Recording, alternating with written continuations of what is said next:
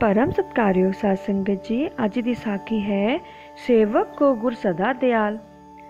ਤੂੰ ਮੇਰਾ ਪਿਤਾ, ਤੂੰ ਹੈ ਮੇਰਾ ਮਾਤਾ, ਜਿਸ ਤਰ੍ਹਾਂ ਮਾਤਾ ਪਿਤਾ ਕੋਲੋਂ ਬੱਚਾ ਹਰ ਚੀਜ਼ ਮੰਗਦਾ ਹੈ, ਇਸੇ ਤਰ੍ਹਾਂ ਸਤਿਗੁਰੂ ਕੋਲੋਂ ਸਿੱਖ ਵੀ ਮੰਗਦਾ ਹੈ। ਜਿਸ ਤਰ੍ਹਾਂ ਮਾਤਾ ਪਿਤਾ ਬੱਚੇ ਨੂੰ ਖੁਸ਼ ਕਰਨ ਲਈ ਉਹਦੀਆਂ ਮੰਗਾਂ ਪੂਰੀਆਂ ਕਰਦਾ ਹੈ, ਉਸੇ ਤਰ੍ਹਾਂ ਸਤਿਗੁਰੂ ਵੀ ਆਪਣੇ ਸਿੱਖ ਦੀਆਂ ਮੰਗਾਂ ਪੂਰੀਆਂ ਕਰਦੇ ਹਨ। ਇਸ ਤਰ੍ਹਾਂ ਦੀ ਇੱਕ ਸਾਖੀ ਸੁਣੋ। ਇਹ ਵਾਰਤਾ ਕੋਈ ਸਨ 1886-87 ਦੇ ਨੇੜੇ ਸਰਦੀਆਂ ਦੀ ਹੈ। ਇੱਛਾ ਪੂਰਵਕ ਸਤਿਗੁਰੂ ਜਗਜੀਤ ਸਿੰਘ ਜੀ ਆਪਣੇ ਸਿੱਖਾਂ ਸੇਵਕਾਂ ਦੇ ਨਾਲ ਬਿਰਧਸ਼ਾਲਾ ਵਿੱਚ ਦਰਸ਼ਨ ਦੇਣ ਗਏ। ਉਹਨਾਂ ਬਿਰਧਾਂ ਵਿੱਚ ਇੱਕ ਸਤਿਗੁਰੂ ਹਰੀ ਸਿੰਘ ਜੀ ਦੇ ਵੇਲੇ ਦੇ ਘੋੜਿਆਂ ਦੇ ਇੰਚਾਰਜ ਬਿਰਦ ਬਖਸ਼ੀ ਜੀ ਸਨ। ਉਹਨਾਂ ਨੇ ਸਤਿਗੁਰੂ ਜੀ ਨੂੰ ਮੱਥਾ ਟੇਕ ਕੇ ਅਰਜ਼ ਕੀਤੀ ਕਿ ਸੱਚੇ ਪਾਤਸ਼ਾਹ ਜੀ, ਸਰਦੀਆਂ ਦੀ ਰੁੱਤ ਹੈ। ਕੋਈ 2 ਕੁ ਕਿਲੋ ਬਾਦਾਮਾਂ ਦੀਆਂ ਗਿਰੀਆਂ ਹੀ ਦੇ ਦਿਓ।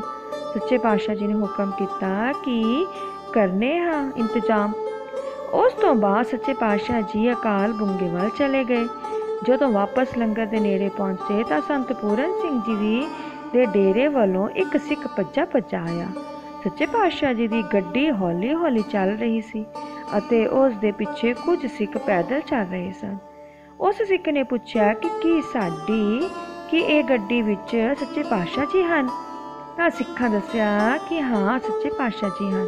ਉਹ ਕਹਿਣ ਲੱਗੇ ਕਿ ਮੈਨੂੰ ਦਰਸ਼ਨ ਕਰਾ ਦਿਓ। ਉਹਨਾਂ ਨੇ ਅਰਜ਼ ਕਰਕੇ ਗੱਡੀ ਰੁਕਵਾ ਲਈ ਉਸ ਸਿੱਖ ਨੇ ਲਿਫਾਫਾ ਸੱਚੇ ਪਾਤਸ਼ਾਹ ਜੀ ਨੂੰ ਮੱਥਾ ਟੇਕਿਆ।